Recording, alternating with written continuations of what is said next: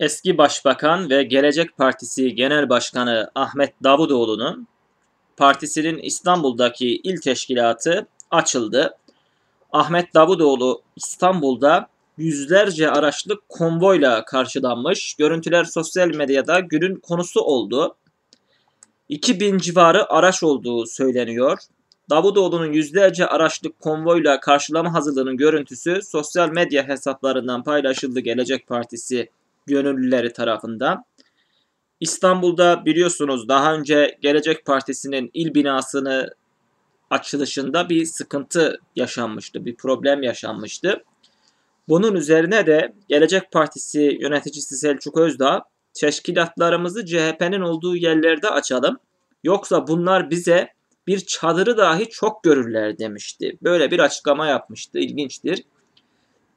Bu tarz engeller yaşanacak olursa Gelecek Partisi olsun, Ali Babacan'ın partisi olsun mağdur edilecekleri için bu partilere koz verilmiş olacaktır. Bu partilerin lehine bir durum olacaktır. Yani bırakın adamlar parti teşkilatını açsın, konvoyunu yapsın, mitiklerini yapsın, konferanslarını düzenlesin. Çıkarılan her engel bu isimlerin daha da güçlenmesini sağlayacaktır.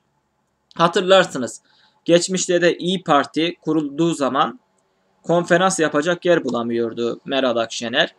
Seçime girmemesi için seçimin çok çok erkene alınması ayrı bir durumdu zaten. Ama çöp kamyonları meseleleri, miting alanların tahsisinde sıkıntılar, konferans yapabileceği, halkla buluşacağı alanları kiralamada yaşanan problemler ne oldu?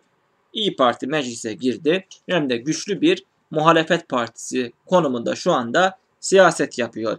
Gelecek Partisi'nin geleceği olacak mı bilmiyoruz. Bunu ilerleyen süreçlerde göreceğiz. Ama bugün İstanbul'daki o 2000 araçlık konvoy oldukça ses getirecek cislendi. Twitter'da aramalar yaparsanız zaten çıkacaktır. Herhangi bir telif problemi olmasın diye ben görüntüleri buraya yüklemedim.